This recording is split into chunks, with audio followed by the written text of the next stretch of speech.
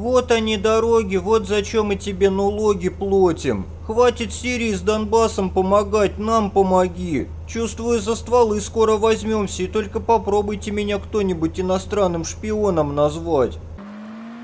Знаю я ваши возьмемся. Блин, а вдруг и правда смогут, надо как-то поизымать у них стволы-то. Только какой бы повод придумать для ужесточения их оборота?